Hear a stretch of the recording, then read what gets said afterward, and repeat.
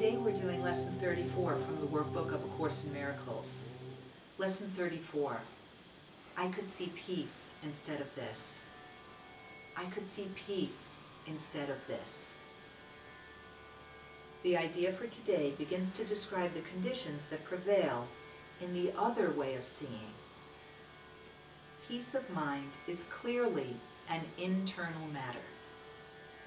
It must begin with your own thoughts and then extend outward. It is from your peace of mind that a peaceful perception of the world arises.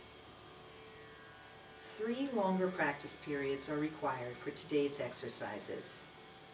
One in the morning and one in the evening are advised, with an additional one to be undertaken at any time in between that seems most conducive to your readiness. All applications should be done with your eyes closed. It is your inner world to which the applications of today's idea should be made. Some five minutes of mind searching are required for each of the longer practice periods.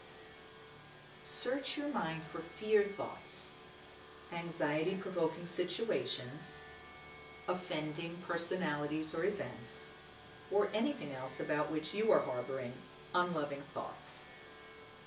Note them all casually, repeating the idea for today slowly as you watch them arise in your mind and let each one go to be replaced by the next. If you begin to experience difficulty in thinking of specific subjects, continue to repeat the idea to yourself in an unhurried manner without applying it to anything in particular. Be sure, however, not to make any specific exclusions. The shorter applications are to be frequent and made whenever you feel your peace of mind is threatened in any way.